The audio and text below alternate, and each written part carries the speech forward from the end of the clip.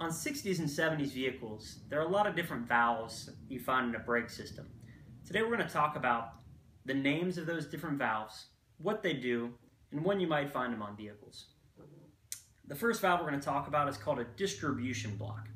What a distribution block does is just give you a place to route all of your brake lines. It doesn't actually proportion any fluid or change the pressures throughout the vehicle at all. Uh, it's just a block uh, found on all drum brake vehicles to give you a place to separate your lines and route, route fluid throughout the vehicle. The one function built into a 67 and up distribution block is the brake warning light. If you either lose pressure in the front or rear of the vehicle, a little shuttle moves inside the valve to turn a light on in, up on your dash so that you know that you have an issue. As I mentioned, all drum brake cars from 67 to 70, on GM anyways, had a distribution block.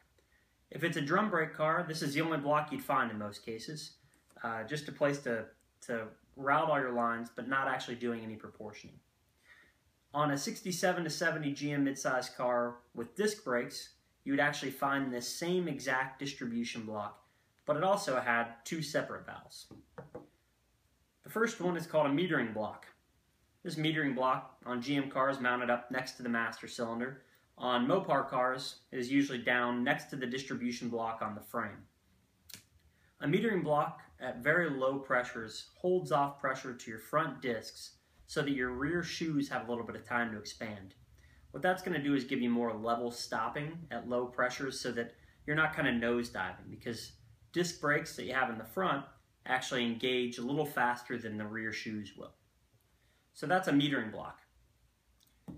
The next one is a proportioning valve. This is a GM proportioning valve that mounts in line to the rear.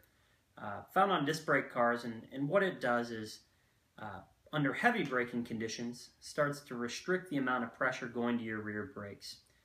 What that'll do is keep your rear drums from locking up under heavy conditions and allow you to get adequate pressure to the front brakes before that rear end locks up and starts making you lose control. Starting in 1971, uh, on GM midsize cars with disc brakes, General Motors changed what's called a combination valve.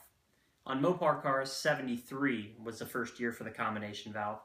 What that does is takes these three valves we've already talked about, the distribution block, the metering block, and the proportioning valve, and combines them all into one.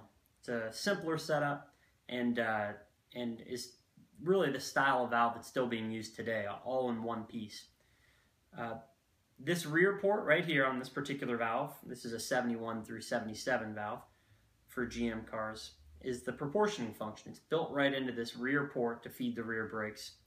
Um, it acts as a distribution block that routes everything throughout your car. And this little rubber cap you see on a lot of valves is, is covering up the, the metering function that's actually screwed into the front of the valve. So these three valves, starting in 71 on GM, 73 on Mopar, all combined into what we call a combination valve. Another valve that you see in a lot of aftermarket applications is an adjustable proportioning valve.